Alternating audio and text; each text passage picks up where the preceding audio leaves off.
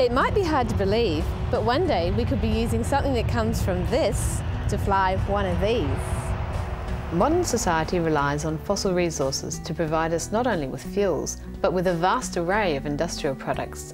But fossil resources are finite and becoming harder and more expensive to obtain. Alternative energy sources provide many solutions, but are unlikely ever to replace high energy density fuels such as jet fuel. I'm Claudia Vickers, and I'm using microorganisms like yeast and bacteria to make sustainable, environmentally friendly replacements for fossil resources. And that's where this lemon comes in. Lemons make limonene, which gives them their lovely smell, but limonene also makes an ideal jet fuel component.